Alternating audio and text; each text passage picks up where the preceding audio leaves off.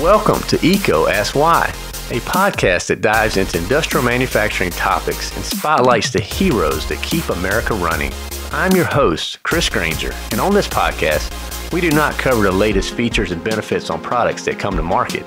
Instead, we focus on advice and insight from the top minds of industry because people and ideas will be how America remains number one in manufacturing in the world.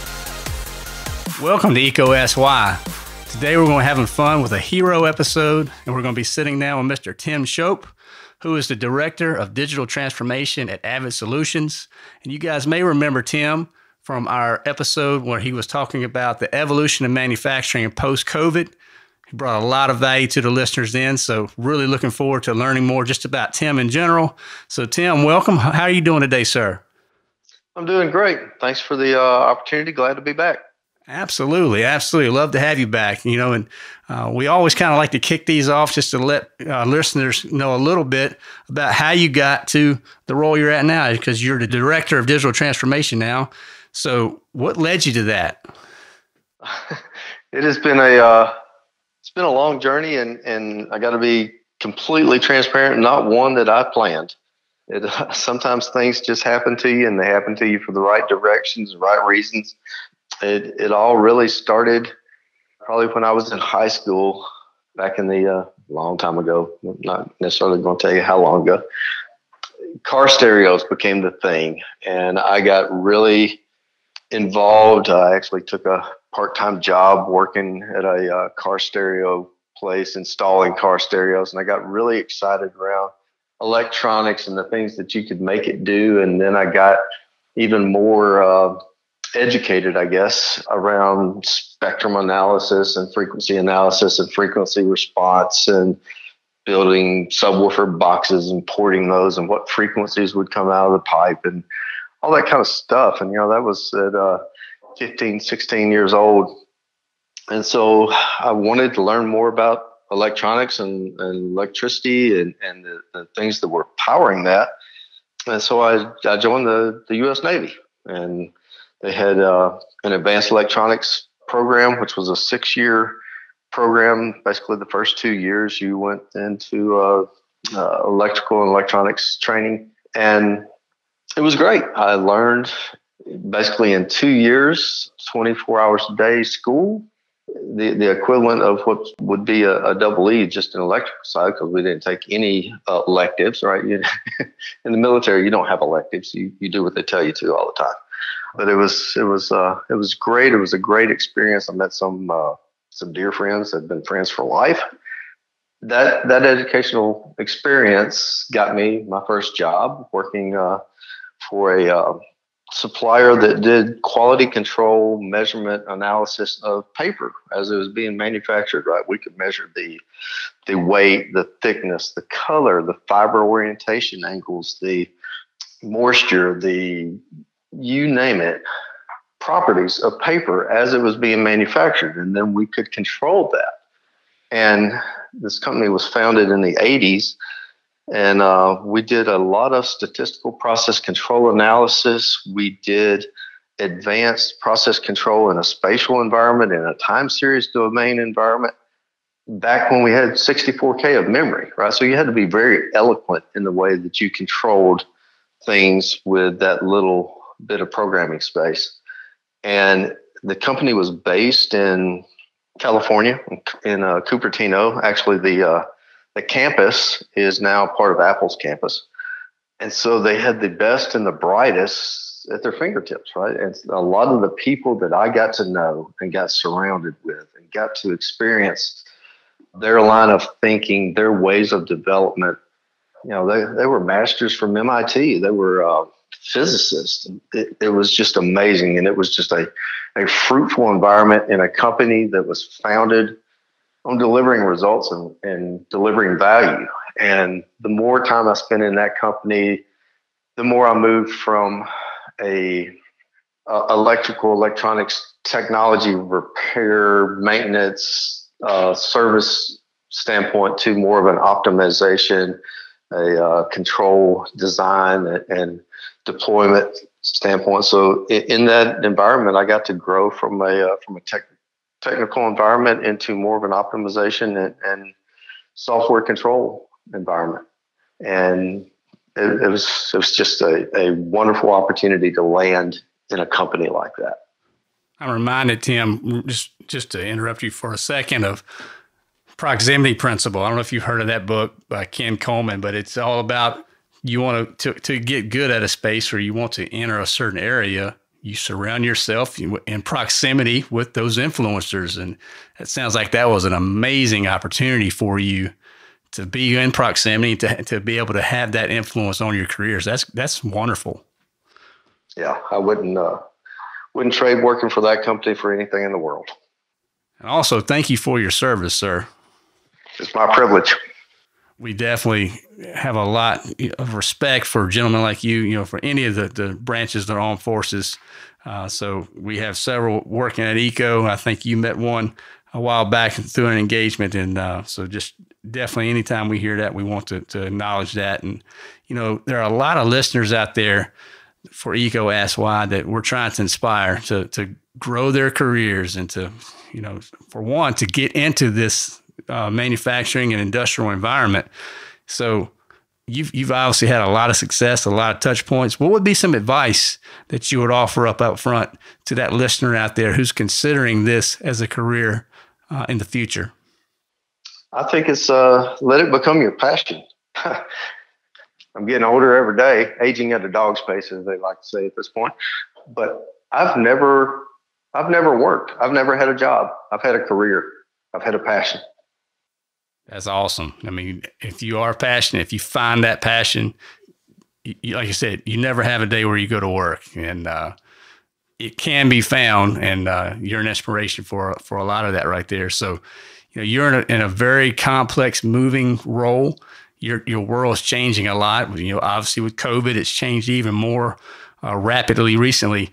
So, what do you see? I know it's kind of hard to look down the road, but so far, but maybe the next 12 to 24 months as the greatest challenges that that you're going to be facing or the industry is going to be facing that that you can see? Uh, I think in a lot of a lot of ways, the things that we're going through today is uh, almost you know you could almost hate to really compare it to to like World War II, but it's almost uh, wartime manufacturing, right? Is how do we take facilities, whether they continue to manufacture the goods and services that they always have because they are in critical supply and demand today. toilet paper, right? I mean, go to go to any local grocery store and try to find a roll of toilet paper. I've got a number of number of friends that are still in the paper industry, and uh, they are uh, they're wide open trying to meet that demand, and that's you know critical demands like uh, uh material for N95 masks for the uh, medical and frontline personnel in this country today that are putting it on the line. No doubt, no doubt. And Tim, with your diverse background, you, you've had a lot of different areas that you've had to learn. So, what are some of those resources that you utilize to enhance your education? And what are you studying right now? What are some of those areas that you're that you're focused on learning right now that maybe our listeners would want to start spending some time, you know, investing in themselves in those areas? I think the biggest thing today is the the availability of online education. Right, you know, when I was in the military and in the middle of the uh, the Mediterranean for six months at SHOT, it was uh, it was a little difficult to uh, to to go to a college class, and and that is that is available at your fingertips today. I, I will say that my six month stay in the Mediterranean prepared me very well for COVID nineteen. Right, if you can ride a boat for six months you can probably hunker down in your house for a few weeks. it's it's the uh, the educational opportunities that are at your fingertips. You know, a number of suppliers and vendors. The, the ability right now with uh, forums and industry trade shows that have gone virtual, uh, as opposed to attendance required today. You know, where used would had T and E considerations from a cost perspective. A lot of them had a uh, registration fee because you know they were feeding you lunch and everything every day. Those a lot of those events have gone virtual today, and you can sign up and uh, you can attend them virtually. You get the opportunity to network virtually with people. You get to meet people that can expand your perspective and your career and help help expose you to new avenues. you know, I've done a number of online trainings during the uh, the uh, stay at home order, and what I've actually started doing is I'm signing up for a lot of their uh, their Asia Pacific trainings, and so I can do them at night. I can do my day job. I can have whatever virtual meetings, whatever my, my normal routine requires.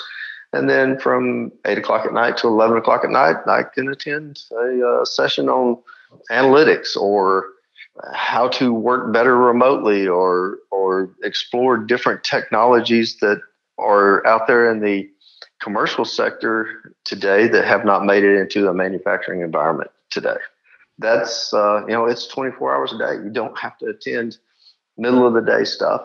Uh, you just sign up for the Asia Pacific. You know, I saw I was looking, you know, at your some information about you prior to, and and I see you're a Gary V follower, and when you were answering that uh, that that answer right there, one word came to mind: it's hustle. And if you want to if you want to make it, and you know it, it's available, but you got to put in the work. And I think you you just explained to some listeners out there some ways you want to go hang on the rim. Nobody's going to get you to the rim except yourself. You know, you you, you got to put in that work. So that's outstanding, man. I, and I, I would like to ask you from a from a mentor standpoint, who would be some influencers out there for you that, that have helped you along in your career? Helped me along in my career. There's one guy at the, the company I mentioned earlier, Measurex, that, that got bought by Honeywell. He was our uh, service organization leader. And uh, to your point, one of his key phrases that he taught me very early in my career was you earn your paycheck during the day and your promotions at night. Nice. And that is nice. That's it right there, right? Yep. Well, how about this? Uh, this got brought up with a, another guest that we had on EECO Ask Why. And he's a young reliability engineer. He's he's investing in training in himself. And the one thing that he brought up was like, I want to get to my point in my career where I can pay it forward. Right. And you have got just a, a lot of experience, a, a, lot of life lessons that I'm sure you that you can teach others. How are you paying it forward to that next generation that are, that's coming up, you know, on the heels uh, of us every day? I think it's a it's a two way street right now. You know, certainly I try to convey the work ethic, the learnings of the past. Right, I don't think we can ignore the things that we have learned in the in the past just to adopt new technologies today. I think that that my role honestly is a bridge between the two of those. It, it's taking the learnings of the past and combining them with the technologies of today to create future proof operations. So I try to instill in the, the next generation the things that that I learned, whether it's from process control or optimization, back when we used to, you know, sit down at a console and write down process variables as we made step responses and graph them out and calculate PID terms by hand. Whereas today, there's a number of technologies. You just say, go tune FIC 201 and it step test it, bump test it. You have a slider that you can, you know, change between aggressiveness and, and, and stability, and, and it, it completely models the process for you. That kind of compute horsepower did not exist you know when i started in this industry when i started in this industry i didn't have a laptop we we had an 8086 computer with WYSIWYG one two three and a black and white monitor to graph all this stuff out. So I guess I did just kind of tell you how old I am. um, okay. But but in today's environment, you can do more on the phone in your hand, and, and the younger generation, I'm trying to learn from them because they do some things with such ease and grace from a technology standpoint. And I'm just saying, okay, show me how you did that so I can show you how to apply that to what we had to do and how we do it today. And I think that is the, the biggest thing. The way the younger generation learns today, particularly from a technology standpoint, is not necessarily sit down with a roll of manuals and read them. They play with it. They intuitively know what they think it should do. And then as they hit bumpers of what it doesn't do, they learn how to optimize it from the, that direction. and that's wonderful. It's great. It's very quick learning curve, etc. Except for when you get into some hazardous conditions or processes that are volatile, you don't have the opportunity to just go play with that process, right? So we got to find ways to either create digital twins that allow them to play and figure things out, right? Find those constraints in a harmless virtual environment, or things like we're doing with uh, North Carolina State as, as a SMITE for uh, the CESMII Institute. We are deploying the IoT environment in a learning environment where industry is welcome to come play, test, fail fast, or technically triage ideas and opportunities in a production environment that's not a total production environment. So I, I think those are. I don't think it's. I don't think it's just me teaching them. I think they're teaching me as much as I teach them. Right, right. Now, are there any groups or, you know, if, if you're a, that young engineer right now that, that you find a lot of value in? I mean, it could be LinkedIn, it could be other platforms. Anything you'd recommend there to help accelerate their careers? Certainly LinkedIn today. Uh, definitely in the uh, in the, the COVID nineteen environment we're in today, you're seeing more and more thought leaders that are just taking it personally to, to get their messages out or their thoughts out there. And, you know, whether it's just walking down the street, videoing yourself and, and posting a, a quick three minute video blog of a relevant idea, it's out there today. And there's LinkedIn Learning that you can sign up for, you know, from a career perspective. And the others that I would still recommend is people join industry associations, whether it's TAPPI for paper or AICHE for, for chemical engineers, IEEE, ISA, right? Those are where you can still get very, very grounded in the the processes, the methodologies, the the uh, the knowledge of the industry, and then you can apply your uh, your new technologies to those those firm groundings. I got you. I mean, I used to be a part of TAPPI and would, would go to some of those meetings and I just it was helpful just to gain that insight and just for one to network you know just because the understanding who who can give you the assistance needed on certain projects. And you know IEEE ISA is another one that we used to you know do a lot of work in, in engagement with that like you said just having uh, uh, access to those thought leaders uh, I think is important and, and not downplaying uh, if there's a meeting coming up, you know, find some time to go to it or, or try to at least join via phone. It's a webinar because there are a lot of times there's these little nuggets you can pick up in those, those engagements that really help your career. And one career question I do have for you in particular is, is when do you get that fulfillment? Where, where are you at the, that moment of joy? When a, uh, when a customer slaps you on the back and says, thanks. There you go. That's pretty easy. That's an easy one, right? Yep when you when you've created value and you've made their operations better or their work life balance better or just anything that you have created value for and they tell you thank you. Now how about a highlight for our listeners? There's something that you can look back and say that you hung your hat on that one and that that was a pretty cool project. Any anything jump out there? A highlight project. Wow. There's there's been a lot of them one of the coolest things I had the opportunity to do in uh, in my career to date. Well, I've done it a couple of times now, but in a uh, a large OEM vendor, I had the opportunity to take a team of 18 process consultants with over 450 years of process control experience and have significant input into the uh, the roadmap of a platform and prepare that platform for the future that uh, is probably the coolest thing I've done. Sounds awesome, man. I bet that's definitely something you can look back and have a lot of a lot of good moments. I'm sure that that, pro- that project was not uh, easy, and the the ones that give you the most fulfillment never are. So, how about we uh, we take a turn away from work for for a few minutes here, and get a, our listeners a little bit of a, an idea of, of Tim outside of of Avid and your current role. So, what's some hobbies? What do you like to to do in your free time, man? I play golf. Not as uh, not as well as I once did, but uh, I'm uh, still pretty uh, an active and avid golfer. In the past year and a half, I uh, transformed a little bit, and I'm now a, uh, a fairly avid runner. I run about 75 miles a month now, and every day that I don't don't run feels like a, a, a, day that I wasted. I don't know exactly how that transformation came to be. I, I never enjoyed distance running. I was a sprinter in, in high school, and, and so if I ran more than 400 yards, it, it felt like a uh, an eternity.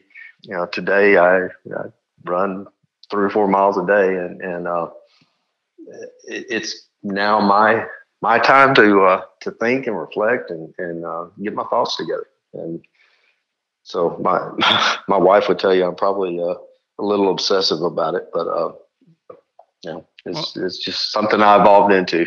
Well, that's okay. I mean, most engineers have a little OCD too, so that you know, it's just the way we work. You know, I, am that way too. So, do you is, do you find it more of a stress relief type opportunity when when you're running? Absolutely. I mean, you put in a, uh, a set of headphones and you uh, you turn on some '80s music, and you know you're you're young again, and it gives you the, the chance to think all over again.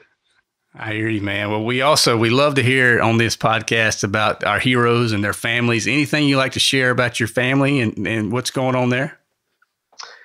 Could not be more proud of my family. My wife is actually vice president of operations for um, Avid Solutions. She uh, is a degreed pulp and paper engineer and has an MBA, and she is um, she is amazing. And the uh, she has been part of the transformation in women in engineering for a number of years, and so it's that that's just amazing to watch her career grow in the ways that it has. And then I've got two daughters that, uh, even though they're sisters, they're completely different, complete polar opposites. One's me, one's my wife.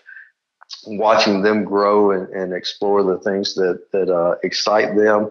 One's a uh, competitive cheer fanatic, and the other rides uh, uh, horses competitively. And so those are both uh, very time consuming activities. So it's a challenge to get them both where they need to go and, and when they need to be there. And then uh, my older son is actually uh, in an EIT program to become an industrial technician.